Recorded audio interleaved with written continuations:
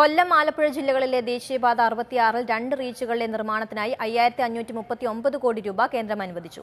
കൊല്ലം കടമ്പാട്ടുകോണം മുതൽ ബൈപ്പാസ് വരെയുള്ള ആദ്യ റീച്ചിന് രണ്ടായിരത്തി എഴുന്നൂറ്റി നാല് കോടിയും ബൈപ്പാസ് മുതൽ ആലപ്പുഴ ജില്ലയിലെ കൊറ്റംകുളങ്ങര വരെയുള്ള രണ്ടാം റീച്ചിന് രണ്ടായിരത്തി എണ്ണൂറ്റി മുപ്പത്തി അഞ്ച് കോടി രൂപയുമാണ് അനുവദിച്ചത്. ഭാരതത്തിലെ ദേശീയപാതകൾ പരസ്പരം ബന്ധിപ്പിക്കുന്ന ഭാരത്മാല പദ്ധതി ഉൾപ്പെടുത്തിയാണ് നിർമ്മാണം. ഭാരത്മാല പദ്ധതി പ്രകാരമാണ് ദേശീയപാതയുടെ നിർമ്മാണം പൂർത്തിയാക്കുന്നത്. കൊല്ലം ജില്ലയിലെ കടമ്പാട്ടുകോണം മുതൽ കൊല്ലം ബൈപ്പാസ് വരെയാണ് ആദരിച്ച്.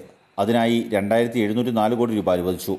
ബൈപ്പാസിൽ നിന്ന് കായംകുളം കൊറ്റംകുളങ്ങര വരെയുള്ള രണ്ടാം റീച്ചിന് രണ്ടായിരത്തി എണ്ണൂറ്റി മുപ്പത്തിയഞ്ച് കോടി രൂപയും അംഗീകരിച്ചു.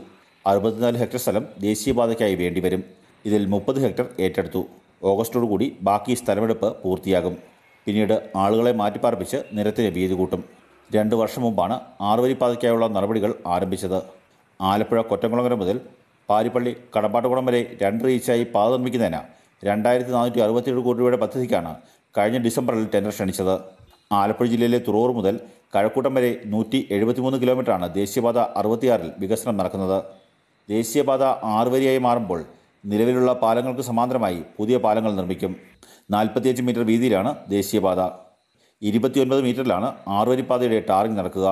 ഏഴര മീറ്റർ വീതിയിൽ ഇരുവശങ്ങളിലും സർവീസ് റോഡുകൾ ഉണ്ടാകും ചുരുങ്ങിയത് രണ്ട് വർഷമെങ്കിലും വേണ്ടിവരും നിർമ്മാണം പൂർത്തിയാക്കാൻ. മാതൃഭൂമി ന്യൂസ് കൊല്ലം.